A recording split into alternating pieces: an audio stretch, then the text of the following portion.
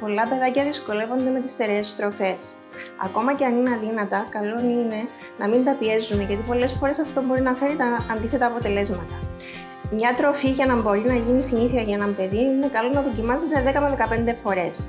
Καλό είναι να προσαρμόζουμε τη διατροφή του παιδιού μας στη δική μας μεσογειακή σωστή διατροφή και όχι το ανάποδο.